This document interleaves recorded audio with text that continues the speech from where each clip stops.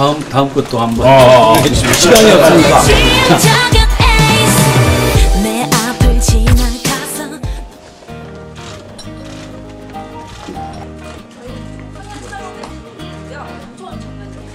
제가 직접 재배한 국내산 감초이고요.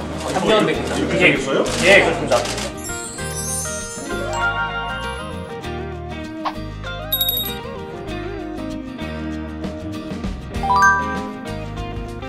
감초로 만든 카라멜입니다. 사람에 네. 자, 감사합니다. 예.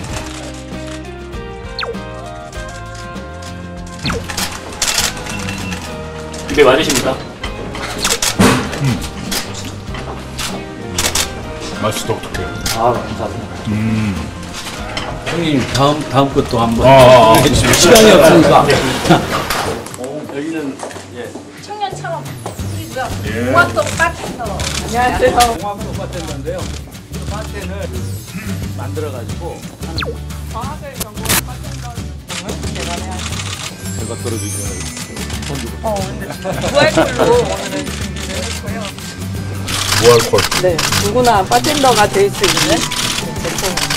뭐뭐 섞은 거죠? 어, 우리나라 도라지 꽃 보라색을 이용하고 레몬 향을 첨가한 어, 기가 막혀요. 그래서 이제 우리나라 팔도강산 샷이라고 해가지고 어, 우리나라 특산물을 이용했기 때문에 예. 오른손으로 비비고 왼손으로 비비고 이런 것이 좀 많이 알려졌습니다. 네, 먹고 마시는 걸 더 다양하게 하고 네. 즐겁게 하고 네. 그러면 소비도 늘어날 것 아니겠어요? 예.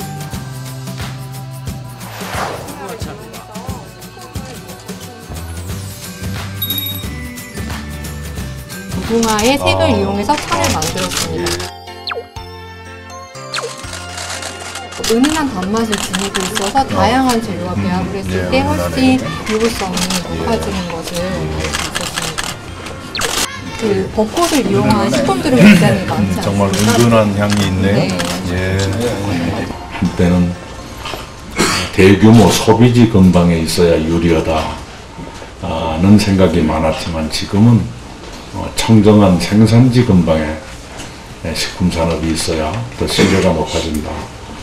호남평의 한복판, 익산의 식품 산업 클러스터가 조성된 것도 그러한 취지였을 거고 여기에 보다 많은 어, 식품들이 식품 기업들이 오시면 그 기업들을 위해서나 어, 지역 경제를 위해서나 어, 훨씬 더 바람직한 결과가 나올 것이다 아, 이렇게 생각을 합니다.